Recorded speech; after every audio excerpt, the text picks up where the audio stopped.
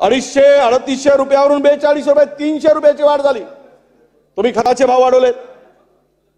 तुम्ही बियाणाचे भाव वाढवलेत.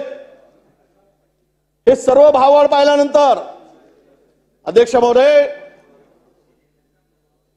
आपल्याला माहीत असेल की डीएपीचे दर चारशे पंच्याऐंशी रुपये पन्नास किलोच्या बॅगचे दर होते. आज डीएपीचे दर पंधरा चौदाशे रुपये झालेत.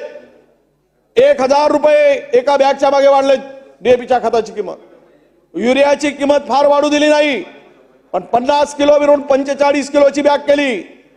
हे आपण सगळ्यांनी पाहिलं अध्यक्ष महोदय. आणि यामध्ये खताचे भाव वाढलेत. एकीकडे पाच एकरच्या शेतकऱ्याला दहा एक बॅग डीएपी लागते. हजार रुपये प्रमाणे दहा हजार रुपये त्याच्या खिशातून काढण्याचं काम झालं. खतवाढीमधून त्याला लुटण्याचं काम झालं. दीडशे रुपयाचा मजुरा साडेतीनशे रुपयावर गेलाय. नांगरणीसाठी जे ट्रॅक्टर वापरला जात होता साठ पासष्ट रुपये डिझेल होता. आज तो पंच्याण्णव रुपये झालाय. हे खर्च वाढल्यानंतर त्या प्रमाणात या शेतकऱ्यांना दर मिळत नाही अध्यक्ष महोदय. म्हणून सोयाबीन पिकाची जे केंद्र सुरू करून जे हमी भावानं न्याय द्यायला पाहिजेत ते मिळालं नाही अध्यक्ष महोदय. आज सोयाबीनचा शेतकरी संकटात आहे. त्याला काय मदत करणार आहात?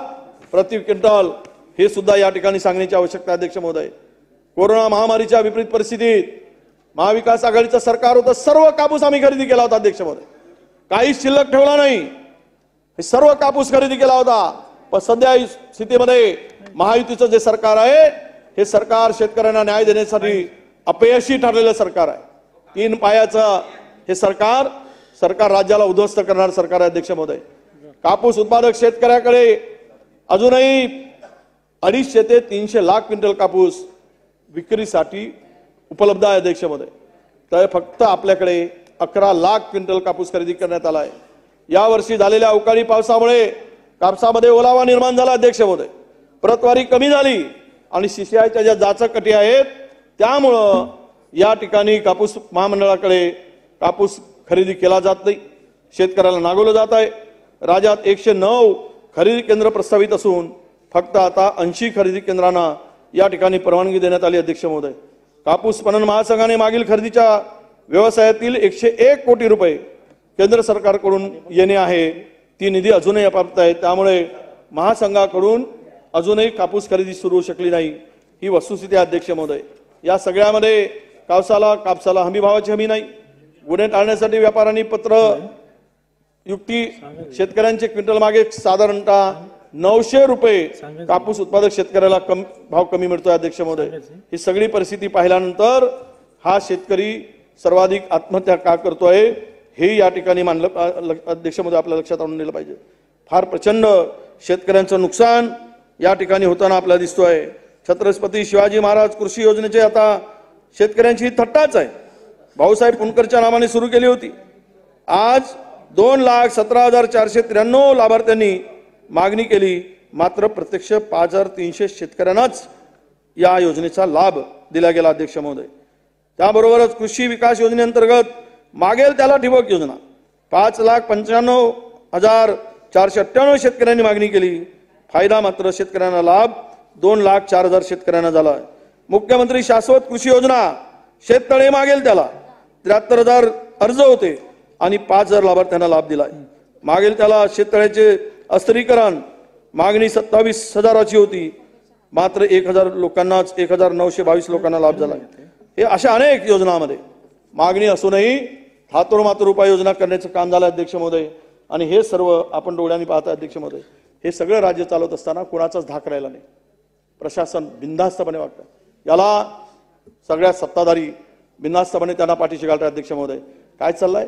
भारतीय प्रशासकीय सेवेतील जे काम चाललंय भ्रष्टाचार चाललाय काय कुठल्या स्तराला गेलाय हा कोण आहेत कोणाचे जावे लागल्यासारखे हे अधिकारी कसे काही त्या त्याच जागेवर राहू शकतात? तुम्हाला मी काही उदाहरण अध्यक्ष महोदय देईन. आणि सगळे ईडीच्या चौकशीमधले अधिकारी पद सोडायला तयार नाहीत. या सरकारच्या आशीर्वादामुळे ही सर्व अधिकारी अध्यक्ष महोदय त्या त्या ठिकाणी बसून नये. म्हणजे विशेष करून मुंबईचे आयुक्त निवडणुकीच्या निवडणूक आयोगाच्या दोन पत्र दिले ते बदली यांची केली पाहिजे ते तिथे राहू शकत नाही. चहलच्या विरुद्ध. ईडीची चौकशी आहे. मुंबई महानगरपालिकेच्या आयुक्तांच्या विरुद्ध. तरी पण मुख्यमंत्री कार्यालय त्यांना पाठीशी घालतोय. बदली करत नाही. त्या मुख्य सचिवांनी सांगितलंय ही कारवाई माझ्यावर होईल मला उद्या कारण दाखवी नोटीस येईल. त्या चहलची बदली करा. तरी यांना कोण सल्ला देतो? बदली करू नका म्हणून. आणि त्या ठिकाणी ते आहेत. करोडोचे घोटाळे केले त्यांनी. याबरोबर खर तर म्हणजे हास्यास्पद असे आहे की आपण अनेक अधिकाऱ्यांचं खच्चीकरण सुद्धा करतोय. आय एस अधिकाऱ्यांचं खच्चीकरण चाललंय. हे सगळं जे चाललंय अध्यक्ष महोदय आय एस अधिकाऱ्यांचं खच्चीकरण कशा प्रकारे चाललंय?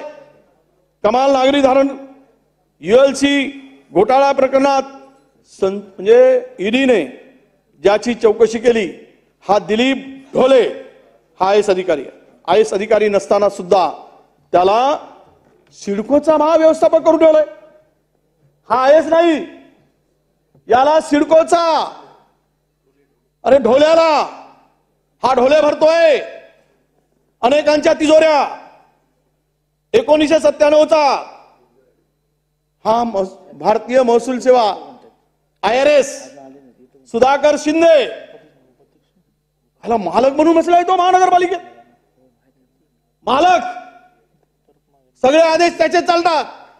त्याच्या कॅबिनमध्ये या शिंद्याच्या एंट्री चंबरचा वापर. जोशी बुवा बिनधास्त करतो.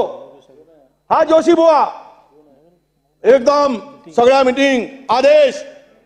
मोदी साहेबांचे कार्यक्रमाची सुद्धा तयारी आणि चर्चा. हा जोशी करतो तिथे. हा अधिकारी हा कुठलाच अधिकारी ना हा जोशी. पण अधिकाऱ्याच्या वरचा अधिकारी आहे. हा जोशी बुवा. नाव जोशी बुवा चालेल माझ्याकडे. आता एक आमच्याकडे म्हण आहे जितेंद्रजी. हे याला असं म्हणतात की आमच्याकडची वराडातली एक म्हण आहे आमच्या सेलर साहेबांना सांगतो. की कोल्याला जमादारकी मिळाली तर वाघाला दिवाणजी ठेवते म्हणतात. तर कोल्याला जमादारकी देऊन टाकली. तो वाघानं आता त्या मुलींची दिवाणजी करून ठेवून दिला हे असे जोशी आहेत नाही. त्याचा सर्वांच वापर केला जात आहे. आणि यामध्ये हा खर तर हा शिंदे दोन हजार तेवीसपासून भारतीय प्रशासकीय सेवेतील वरिष्ठ अधिकाऱ्यांना डावलून अध्यक्ष महोदय. या पदावर बसून आहे. याला पूर्ण प्रोटेक्शन आहे. याला समकक्ष असणाऱ्या अतिरिक्त आयुक्त ब्रह्म महानगरपालिका याही पदावर त्याची नियुक्ती केली होती. त्याचा राज्यातील प्रतिनियुक्तीचा सेवा काळ तेवीस अकरा दोन हजार तेवीस रोजी समाप्त झाला आहे.